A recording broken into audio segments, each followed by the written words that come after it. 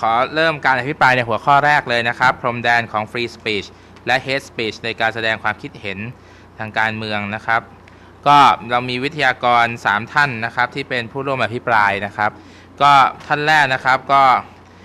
ดรโสรัตน์หงระดารมนะครับ จากคณะอักษรศาสตร์จุฬาครับครับอาจารย์โสรัตน์ก็เป็นอาจารย์ทางด้านปรัชญานะครับภาควิชาปรัชญานะครับ ท่านที่2นะครับ เดี๋ยวคงกำลังมานะครับ เพราะเมื่อกี้มาแล้วนะครับ ก็คืออาจารย์ดรพิรงรองรามสูตรนะครับจากคณะนิเทศนะครับอาจารย์ท่านไปเข้าห้องน้ำฮะเดี๋ยวคงมาครับแล้วก็ขอเชิญดรพรสารเลี้ยงบุญเลิศชัยนะครับ จากคณะนิติศาสตร์มหาวิทยาลัยอัศมชัญนะครับ ขึ้นเวทีเลยครับ ก็เอาใครก่อนจับเปิดก่อนได้ไหมครับผมก็เดี๋ยวคงจะเริ่มจากอาจารย์โสรัตก่อนนะครับ แล้วก็ ก็เดี๋ยวจะเป็นอาจารย์พรสารแล้วก็อาจารย์พี่รองรองตามมานะครับสามคนชั่วโมงเดียวครับ สั้นๆก่อนครับ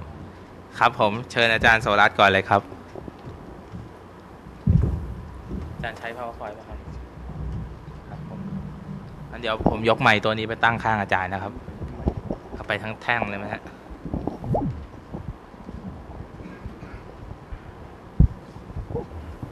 อพอดีผมเตรียม เตรียมสไลด์มาแสดงนิดหน่อยนะฮะ เกี่ยวกับเรื่อง free speech hate speech ซึ่ง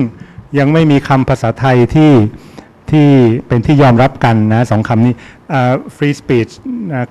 คำพูดที่มีเสรีภาพ มันก็ฟังดูมันไม่ไม่เข้าอะมันมันยาวเกินนะยิ่ง hate speech ยิ่งไปกันใหญ่ยังไม่มีคำที่เหมาะสม ซึ่งผมติดใจเกี่ยวกับเรื่องนี้เพราะว่าผมมาจากคณะอักษรศาสตร์นะทำงานเกี่ยวกับภาษา แต่ผมเองก็ยังคิดไม่ออกว่าว่าจะจะบัญญัติคำนี้ว่ายังไงนะ อาจจะต้องรอให้เรื่องพวกนี้ตกผลึกมากขึ้น แล้วก็อาจจะมีคนที่คิดอะไรดีๆ ขึ้นมาเกี่ยวกับว่าเราจะเรียกสองอย่างนี้ว่ายังไงนะก็ขอขอบคุณอาจารย์พิษ ขอบคุณมูลนิธิไฮริกเบอร์แล้วก็คณะรัฐศาสตร์ที่ที่จัดงานนี้แล้วก็ชวนผมมาพูดนะคงใช้เวลา ไม่นานมาก พูดในฐานะนักวิชาการซึ่งมีความหมายว่าจะมองในภาพรวมว่าสองอย่างเนี่ยมันคืออะไรกันแน่ แล้วก็คำถามหลักของเราก็คือว่าเราจะกำหนดเส้นแบ่งระหว่างสองอย่างนี้ว่ายังไง ซึ่งเส้นแบ่งนี้อาจจะไม่จำเป็นว่าจะต้องเหมือนกันในทุกประเทศ เราฟังของเยอรมันไปแล้วนะก็มีประเทศอื่นที่ไม่เห็นด้วยกับเยอรมัน แล้วก็เป็นธรรมดา เพราะว่าเราก็มีบริบทของเรา เส้นแบ่งของเราอาจจะ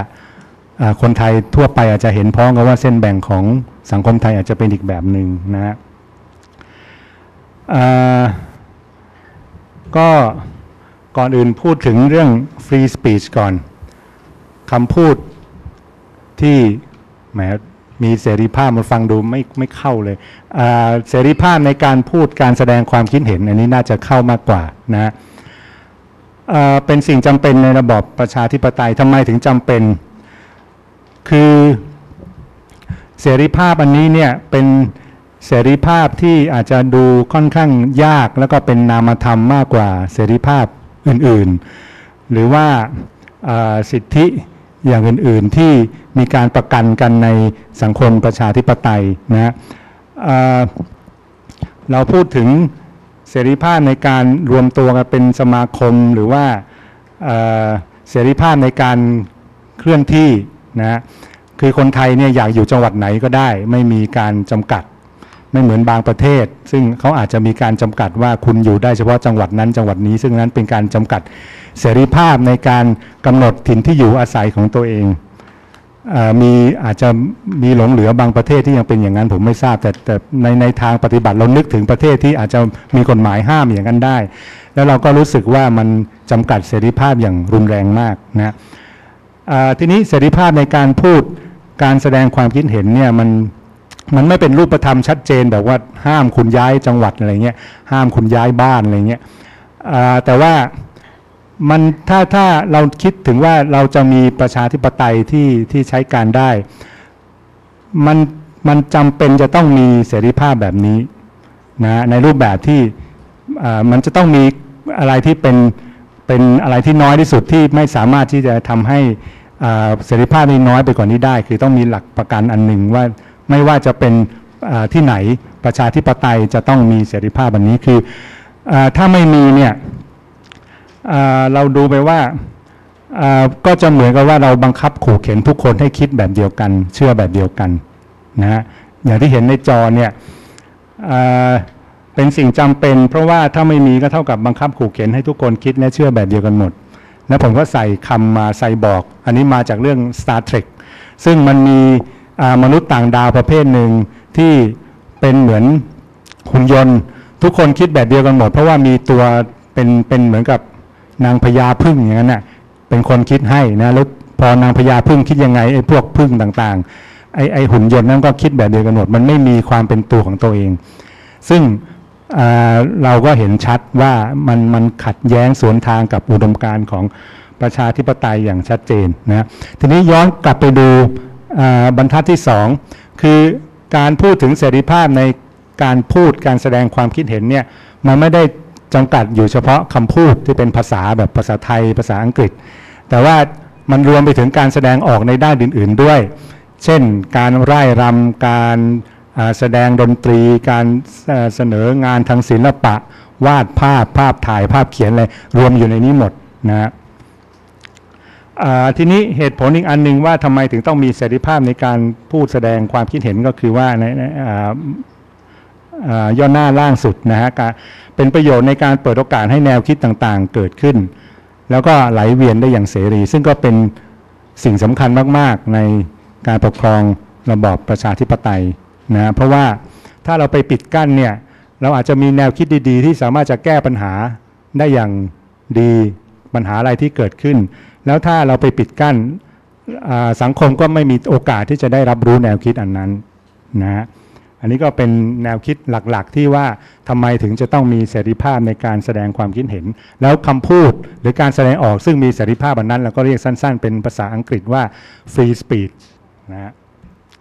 ทีนี้ hate speech คืออะไร เราฟังคลิปที่มีนักวิชาการชาวเยอรมันพูดไปบ้างแล้วแล้วก็คุณโยสก็ได้พูดเกริ่นๆไปบ้างแล้วนะฮะเราอาจจะเรียกสั้น ๆ ว่าเป็นคำพูดดูหมิ่นเหยียดยามศักดิ์ศรีความเป็นมนุษย์ อันนี้ก็เป็นเหมือนกับ เป็นคำพูดที่น่าจะยอมรับกันได้ทั่วไป ในเรื่องตะวันในในโลกตะวันตกเรื่องนี้เป็นเรื่องใหญ่มากแน่นอนนะฮะแล้วในสังคมไทยมันก็เป็นเรื่องใหญ่ไม่แพ้กัน เพียงแต่ว่ามันมีอะไรที่แตกต่างกันนะฮะเกี่ยวกับเรื่องว่าบริบทตัวอย่างอ่ามันเป็นประโยคภาษาอังกฤษผมไม่อยากพูดออกมา มันมันมันค่อนข้างรุนแรงนะฮะ เอาเป็นว่าเป็นคำพูดเกี่ยวกับคนผิวสีผิวดำ ซึ่งอ่าในสหรัฐเนี่ยเป็นเรื่องใหญ่มาก แล้วก็บอกว่าคนผิวดำเนี่ยเป็นแบบปัญญาอ่อนอะไรเงี้ย อันเนี้ยเป็น hate speech เพราะว่าเป็นการตีขลุ่มคนทั้งกลุ่ม แล้วก็บอกว่าทั้งกลุ่มมันเป็นแบบเนี้ยเป็นแบบที่มันไม่มีใครอยากจะเป็นนะฮะแล้วก็มีธรรมชาติคือจะต้องเป็นผู้ถูกปกครองเท่านั้น โดยคนผิวอื่นมาปกครอง ปกครองตัวเองไม่ได้อะไรเงี้ยนะฮะแล้วก็มีอีกประโยคนึงอย่างอย่างเช่นพูดถึง ในในบริบทของสหรัฐของอเมริกันอีก